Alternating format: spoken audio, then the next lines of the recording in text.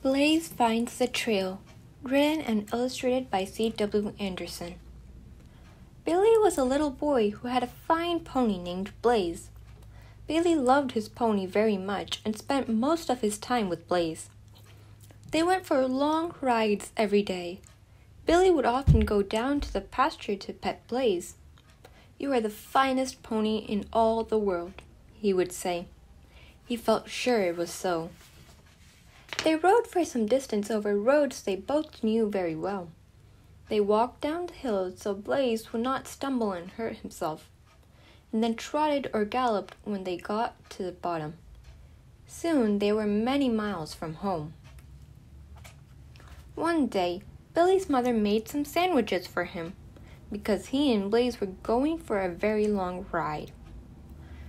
They were going to explore an old road through the woods that no one ever used anymore. This was exciting. Blaze seemed to enjoy the ride as much as Billy. They came to the place where the old road turned off, straight into the deep woods. Although it was overgrown with grass and weeds, Billy could still see the deep ruts wagon had made in the ground many years ago. He wanted to see where they would take them. A beautiful bird with bright colored feathers flew up just in front of them, and the whir of its wings gave both Billy and Blaze a start. It was a pheasant. Billy had never seen one so close before. He thought it was the most beautiful bird he had ever seen. A little farther on, they saw something red steal quickly across the road. It's a fox, cried Billy. Oh, aren't you glad we came this way, Blaze? Blaze seemed to nod his head as he trotted on. They came to a place where a dead tree was leaning across the road. There was barely room for Blaze to go under it. Billy had to lie flat on Blaze's back, and they just squeezed through. Then they came to a fallen tree across the road. But Blaze was a fine jumper and sailed over it easily. It was a hurricane that blew the tree down, said Billy. I wouldn't want to be under it when it fell, would you, Blaze? They had gone a long way when Billy saw another big tree across the path. The branches held it up so that it was too high to jump and too low to go under. Billy hated to turn back when they had come so far. Let's try to go around it, Blaze, said Billy. There must be some way to do it. The woods were very thick, and each time they tried to get back to the path they were path there were fallen trees or thick woods in the way. They were getting farther and farther from the old road, and still they could not find any opening. At last they were able to turn back towards the road.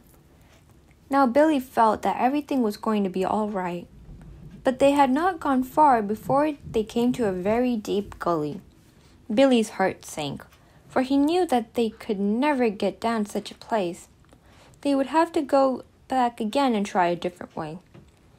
Billy had to lead his pony for the woods were too thick for him to ride. There was nothing in sight but woods, and Billy began to be worried. Which way was the road?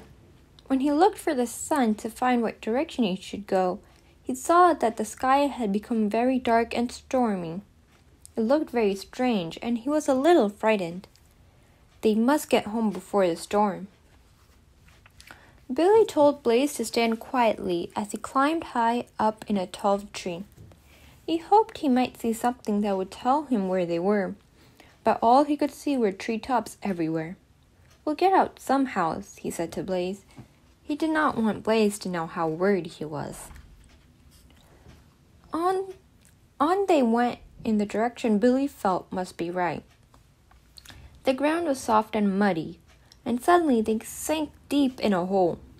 Billy scrambled out and pulled as hard as he could on the reins. At last, Billy climbed out, covered with mud and looking very frightened. It had been a close call, for the mud hole was very deep. It was growing very dark, and still they could find no sign of a road. Billy was tired and frightened.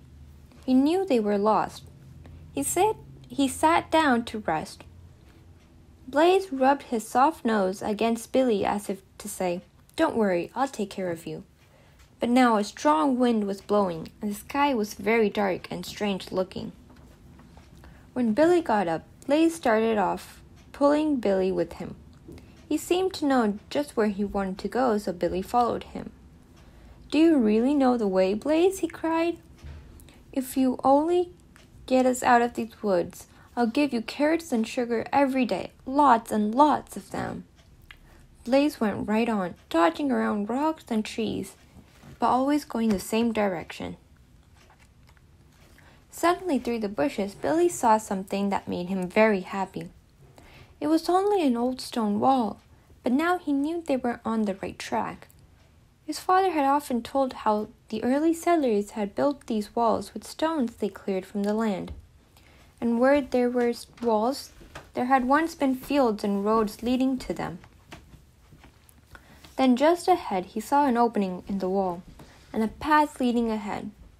You are wonderful, Blaze, he cried. You found the way. Now at last he could get in the saddle again, and they could go faster. The wind was growing stronger, and he knew the woods were no place to be in a storm.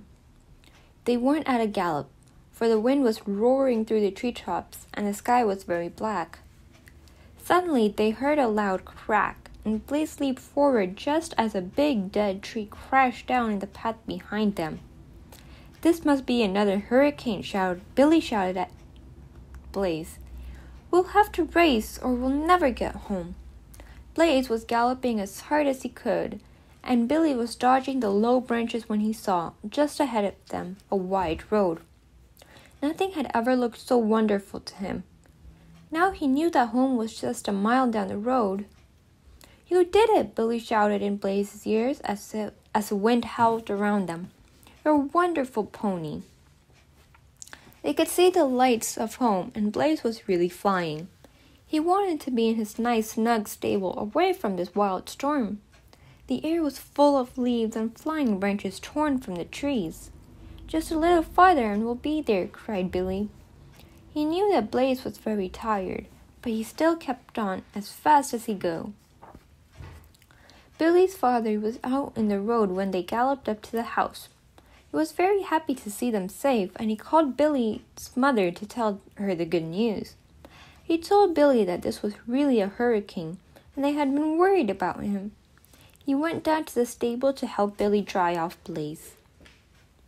As soon as you're rested and cooled off, I'll give you a wonderful dinner, Billy said to Blaze as he rubbed his pony's wet, shiny coat. He found a way out of the woods, he told his father. He's a fine pony, said Billy's father.